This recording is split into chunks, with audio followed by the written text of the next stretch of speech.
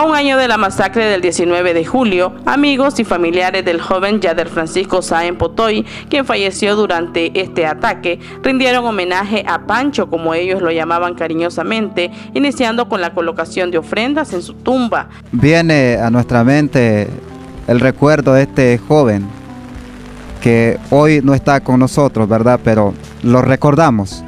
Y vamos a leer la palabra del Señor en el Salmo 23 y dice la palabra, Jehová es mi pastor, nada me faltará.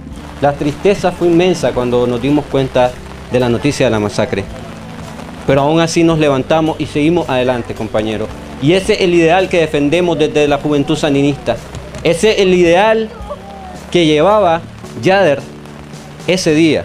A este homenaje se sumó la Alcaldía Municipal de San Ramón, equipo político municipal y departamental del Frente Sandinista. Porque así como estamos en San Ramón, aquí en Ciares, estamos en toda Nicaragua, en cada uno de los municipios, dando oraciones en homenaje a esa masacre que hubo el 19 de julio, pero también en celebración, hace una celebración más un 36 aniversario más que va a ser mañana.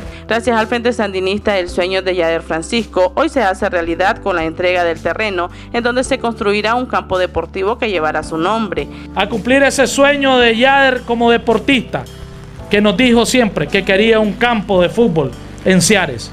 Hoy el Frente Sandinista, hoy esta revolución, estamos cumpliendo y seguiremos cumpliendo. Yo les agradezco todo lo que han hecho y lo que siguen, van a seguir haciendo porque es una promesa que le hicieron a él cuando falleció.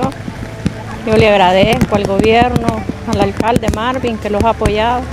Este era un sueño para su hijo. Sí, era un sueño de él que le gustaba jugar bastante y, y es un sueño que se le va a cumplir, aunque él no esté físicamente, pero está en los corazones de los chavalos que jugaban, jugaban con él. Lo que pasó con nuestro querido Pancho, pero más sin embargo el Frente Sandinista, la compañera Rosario, el comandante Daniel han estado allí siempre en una comunicación continua, tanto con nosotros como políticos, con la familia, ahí recordando este día conmemorable del primer aniversario de nuestro querido Pancho. El homenaje que fue organizado por habitantes de la comunidad de Ciare y que fue apoyada por el Frente Sandinista finalizó con una celebración de la palabra. Con imágenes de Israel Ortiz les informó Katy Tatiana Mendoza.